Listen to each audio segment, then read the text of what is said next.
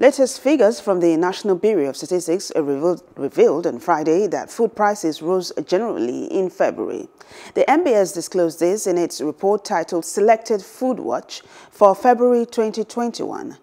Data for February 2021 reflected that the average price of one dozen of agric eggs medium size increased year-on-year by 15.62% and months-on-months by 1.46% to 518 naira uh, 30 kobo in February.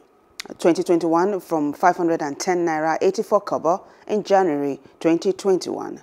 The NBS revealed that the composite food index rose by 21.79% in February 2021 compared to 20.57% in January 2021. Hello. Hope you enjoyed the news. Please do subscribe to our YouTube channel and don't forget to hit the notification button so you get notified about fresh news updates.